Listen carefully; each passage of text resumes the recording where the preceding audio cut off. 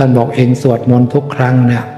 เองสวดบ่อยๆบ่อยๆนะสวดมนต์แผ่เมตตาโมทนาบุญบันทึกบุญบ่อยๆเนี่ยข้าถามว่าเองชินไหมชิน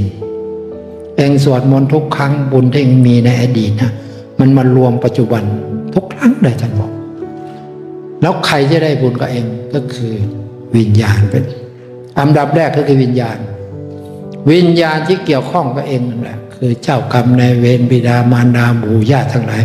ที่มันเวียนว่ายตายเกิดขึ้นขึ้นลงลงญาติเองที่อยู่ข้างล่างพอมันขึ้นมาข้างบนเนี่ย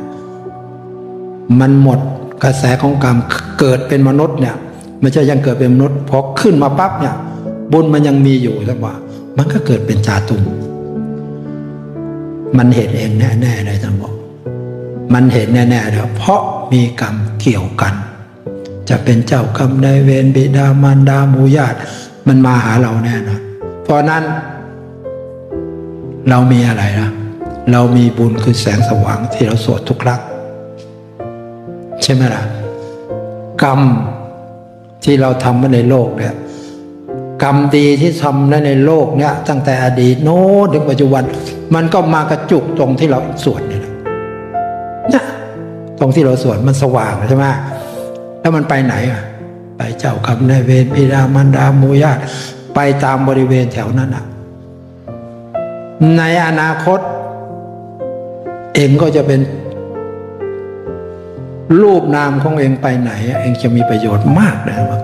แม้แต่มนุษย์ที่มองเห็นเนี่ยเขามองเห็นปั๊บเนี่ยเขามีกรรมเนี่ย หายเลยเลยบอก โดยเฉพาะกรรมเรื่องโลกของวิญญาณที่คอย การแกล้งเอาคนอยู่เนี่ย มันเป็นเจ้ากรรมในเวรกันมา พอเห็นเองปั๊บเนี่ยไปไปเลยทันที แล้วผู้ที่มีความเกี่ยวข้องเกี่ยวพันกับเองในอนาคต ในอดีตมาปัจจุบันไปอนาคต เขาเห็นเองน้ำตาไหลแล้วทั้งว่านี่เรื่องจริงนะเรื่องจริงนะ